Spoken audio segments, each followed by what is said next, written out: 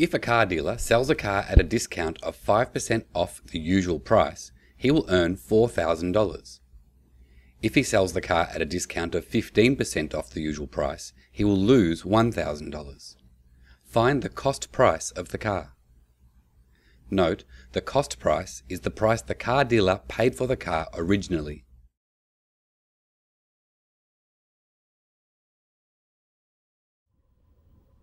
If a car dealer sells a car at a discount of 5% off the usual price, he will earn 4000 Let me draw a diagram to solve this problem first, huh? so the easier.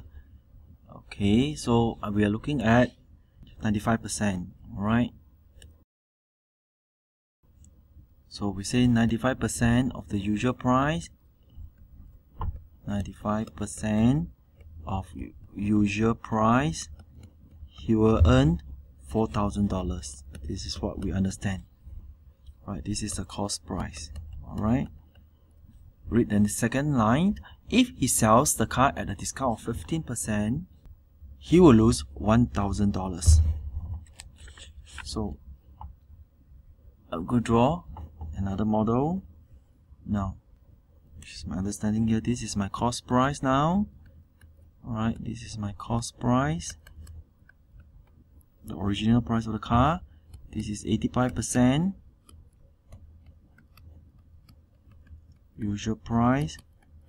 He's going to lose 1000 maybe I use the red color to tell you that he's losing or lose $1000 now from there we know that 95% subtract 85% is equal to 10% so my 10% of usual price is equal to 4000 plus 1000 and that amount to 5000 now 85% of usual price is equal to 5000 divided by 10 multiplied by 85 and you have 42,500 now you can save 1% first then followed by 85% so for me, we can know that it's 5,000 divided by 10 multiplied by 85 straight, right?